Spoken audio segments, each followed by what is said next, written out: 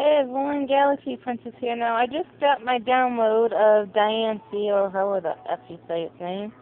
And I did it on my X already. It's going Y. Oh, this isn't even mine, it's my mom. But, um, I noticed it did something special when it came in here. You get your Pokemon like normal, then these two jerks come in. And they demand to have your freaking Pokemon.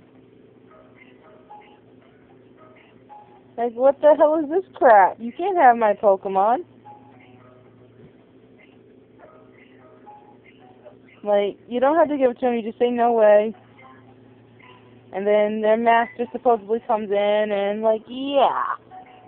Like, you really think I went through all that effort of going to my store, getting a download code for this thing? You really think I'm going to let you just have it? Well, I just wanted to give you a brief update. Happy Halloween, and see you next time. Bye.